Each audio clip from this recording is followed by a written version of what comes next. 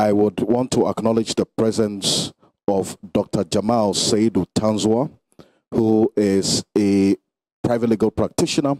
He is uh, a lecturer at the GIMPA Law School and also a former adv- legal advisor to Operation Vanguard.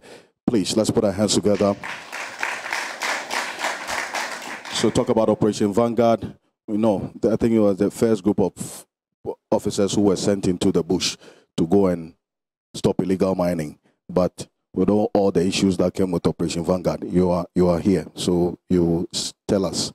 Also, thankfully, we have the Ghana Atomic Energy Commission. You remember, just a few days ago, they issued a statement detailing how this illegal mining is impacting on us with issues that we can't even see with our eyes. And to give us just a five minutes um, presentation, we have Dr. Frank Kobler Kwashi. He's the Vice President of the Research Scientists Association, Ghana Atomic Energy Commission. Just some few words from you before we get into the panel conversation. Please, let's put our hands together. Thank you very much.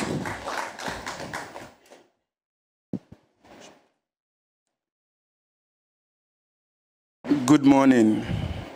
I also like to stand on the existing protocols. Like he said, I'm from GAEC with the Research Scientists Association. On the 18th of September, together with our brothers from CSIR, the Research Staff Association, we issued this press statement. And what we are trying to say is that currently, Galamsey has become a national security threat and it affects all of us. It has, we've said all the environmental issues. Currently, we are talking about climate change a lot. There's a lot of issues about climate change, and there are a lot of things coming out from Galamsey because of climate change. So, for us as researchers, we've done a lot of work in these Galamsey areas. Almost all our water bodies have been destroyed. Now, going there to even do research work has become more expensive because sometimes you don't even get access to the places you have to do this research. So it's very difficult for even our own researchers to come out with proper findings because you don't get access to these Galamsey sites and you are troubled. We also know that, as we, has been said already, Ghana water, we are all complaining. Now we are rationing water. And these are issues of Galamsey. You may think it's not affecting you here because you are not close to a water body, but we all use water. There are serious health implications. People have talked about mercury, arsenic. Most of these heavy metals bioaccumulate in us. These heavy metals, and research have found out that most of them are some have serious carcinogens. And we develop these health issues without knowing the cause. Because some studies that you need to do to know I have cancer, what form of cancer do I have? Is it cancer of the lungs? Where is it coming from? We are not able to do these epidemiological studies here to know this is the real cause of this cancer. So what the Research Scientists Association of both Ghana Atomic Energy Commission and CSIR are saying, like we said, with this EPA forest law, Honorable is here, maybe when he gets the time, he will explain to us how we can repeal this law, because we think that is the first thing that should go. As researchers, we don't understand why we should have a law that will let, because we have biodiversity issues as God created this world, there are certain things God Himself has put in the world to control nature. But as human beings, if we destroy it, we are destroying our own selves. So we as researchers, we believe this is the way to go. We also believe that government should liaise with the research institutions. We are talking of reclamation of these fields. You have researchers you are paying money to but there's no real collaboration with researchers on how some of these things can be done. Director is here. When you come to CSIR or Ghana Atomic Energy Commission, you have energetic young men and women who can help us deal with some of these issues. So we are appealing to government to take the opportunity because we have the human resource. We have the human resource to do this work. So we are appealing to government to help us in doing this. We also, like others have said, there should be a moratorium on small scale mining. We should see some changes because we can't do the same wrong things all the time. We should see some real changes in our water bodies. Because as we are here, we've heard there was a time that you hear the sea has been closed. Why do we close the sea? So that at the proper time we'll, we'll have bumper harvest. If our waters are not good and we are suffering from it, why can't we also put a moratorium on small scale mining and illegal mining for a period? If it's one year, depending on what research will tell you, can reclaim the water because water is life. Water is life. Also, we we also want to say that because of in our statement, government can create livelihood alternatives for those in the mining areas because we know why they are doing the mining. We know, if we say we don't know why they are mining, then we are wrong. So when we have livelihood alternatives, some have been tried, but you see, the way we go about it, when we have a thorough one, because we know we are going to put a moratorium on mining, we sit down, design something that will be lasting. That when you go there, you know, because the person mining is also having a relative maybe suffering from what Galamsey is doing to the community. But when we have an alternative for people in mining, I'm sure maybe the money will not be as good as Galamsey, but as rational human beings as we are, and with the law backing it, I'm not sure those people will even attempt to go back and do what we are calling for, this illegal mining. So we believe that there's a lot we can do as people in Ghana. And the last thing I want to say is that organized labor has spoken, but we are not speaking as a, as a body. This is affecting Ghana. It's not only affecting a group of people in Ghana. So for us as research scientists, we believe everybody should speak Everybody should think Galamsey is a problem. We should start speaking about Galamsey in our homes. What are the remedies? What can we do? What can we also do to help government's effort of solving Galamsey? And when we do some of these things, we have to catch them young. We have kids coming up today. They don't know what really we are doing about Galamsey. All they hear is Galamsey. What are we doing as a people to help and taking this canker off our system.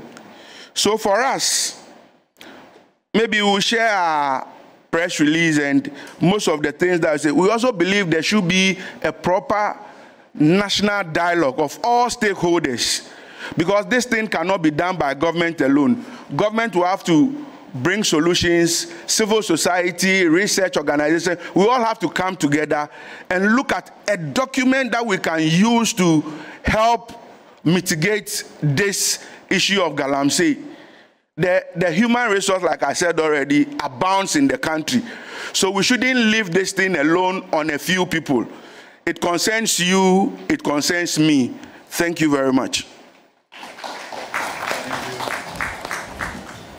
Thank you. Thank you very much. Dr. Frank Kwashi is the Vice President of the Research Scientists Association with the Ghana Atomic Energy Commission there. The things that we don't see with our bare eyes, they see it, and that's a threat that we're faced with. And to lead us straight into the panel conversation, want to lay the foundation about the issues about security.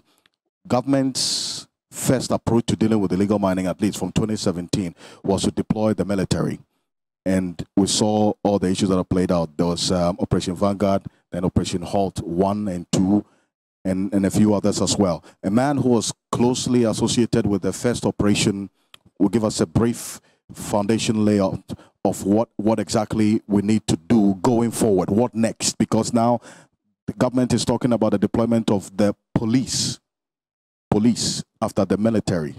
So is this the way to go? Dr. Jamal Tonzwa, um, is a lecturer at the GIMPA Law School and also former legal advisor to Operation Vanguard. Please let's put our hands together for him. Thank you.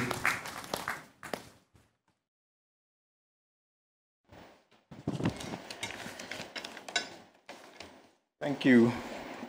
Does the microphone work? Okay. Thank you very much, and good morning to you all. Um, we stand at a defining moment where we may get it right or we may continue to fail, just as we have done over the years. For me, what is exciting is that there are lessons to be learned from our failures. One of the things that we need to do, I mean, oh, let's start with the question where are we and what are we contending with? I am a bit disheartened when I hear that we have a national security crisis, we have a food security crisis, and all that. And the speaker that came before me just talked about lack of coordination of a sort. I want to add to that and say that politicians are very smart people. They are listening to us and they are seeing all the weaknesses in the current discussions. What do we need to do next?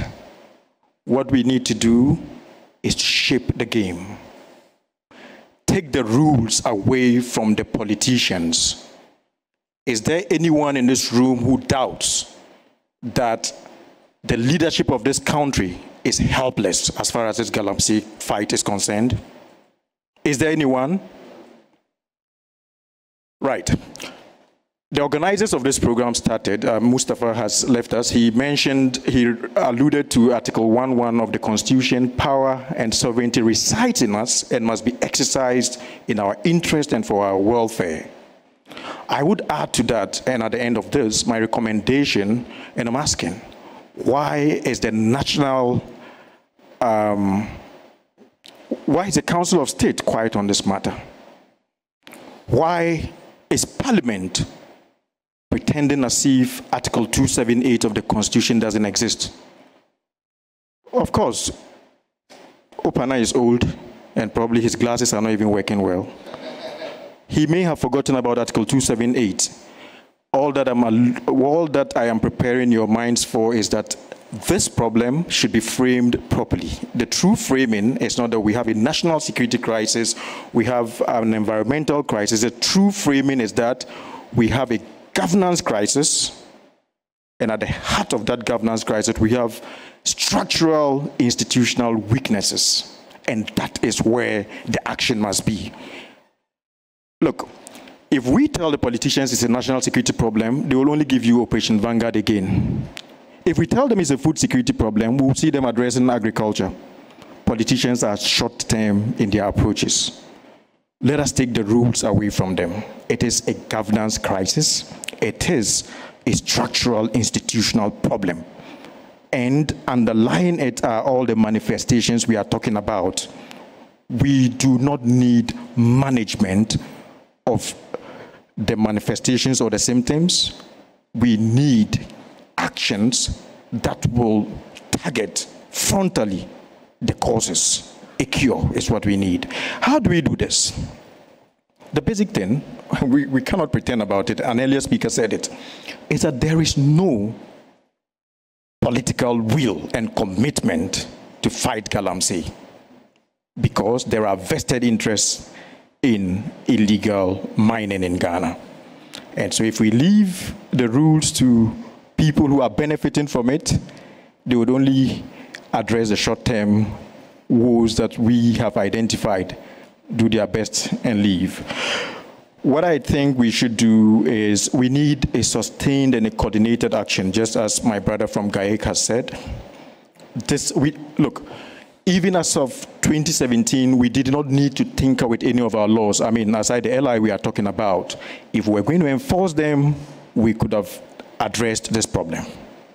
And so I don't think we need to be talking about legislation again. I don't think we need to be talking about institutions. We need to resource them.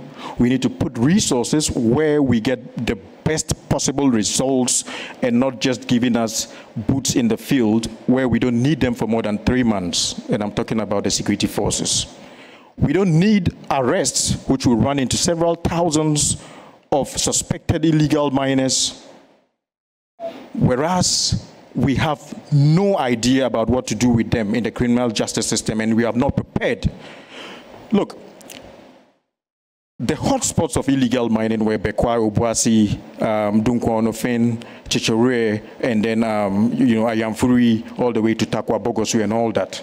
At the time, it will surprise you to know that only one judge sat in the courts of Obuasi, Bekwai, and Dunkwa Can you imagine? Were we prepared to beyond what Operation Vanguard would do by way of arrests, uh, immobilization of what would become um, exhibits in court, what were we going to do with them? To throw them to the, in the air and say, hey, these are the statistics, this is the progress we are making? Is that a fair indicator? Is that backed by sound policy, science, data? What does it mean when we have institutions like Forestry Commission, Water Resources Commission, um, you know, the Minerals Commission, and they are working in silos. What does it mean when we are not resourcing them? Even the military did not have what they needed to do their work. Why were we deliberate in not complementing the effort of the boots with, with um, technology? Why were the drones never given to the military? Why did the trackers never work on the excavators? Why did we not use satellite technology? Because we didn't tell the politicians we know what should be done. We just told them that, oh, national security, we, we, we, we have an institution, we put them there, and they gave it to us. We must tell them that we know what we want. We must be data driven and evidence based in this new approach. How should we do it? Now I come to Article 278 of our Constitution. The sovereignty of Ghana resides in each one of us and all of us collectively and must be exercised in our interest and for our well being. Article 278 of the Constitution tells us that where the executive, the president, believes that a matter is in the public interest, he should set up a committee of inquiry that will look into it fully, fairly, and impartially. The president is a lawyer. He recently received a lifetime achievement at the Ghana Bar Association um, recent General Assembly. But the point is, if the president overlooks this because of political expedience, Parliament can by resolution request that he does that. And Article 278. The Council of State, who should be his conscience, his eyes, and his mind, have a mandate there. Ladies and gentlemen, all that I'm saying is that we've moved in a circle. We've come to a point that we must come to the realization that the true power and the real solution lies in us. How should we exercise it? Let us tell them that we need a commission of inquiry to go and give us a more structured, full, impartial, data-based analysis of the problem. Let the problem guide us and let us have an independent body of experts. We've seen Ken Ashigbey and all the rest, most, most of you are here, who would lead the process. Let there be transparency that every day any Ghanaian can know where are we and what monitoring um, indicators are we using, and let us strengthen mechanisms of accountability that any of us can walk to an institution and say that, look, we are demanding accountability from you or we are demanding accountability for uh, iris, uh, you know, illegal miners. And finally, let's ensure that the process would be inclusive, especially the youth must be there. I volunteer to be there. And I am happy to say that my law firm is actually the one leading the fight to revoke the LI. Thank you very much, and I wish you um, a successful deliberation. Thank you. Thank you very much, Dr. Jamal Tonzo. Thank you. Appreciate it.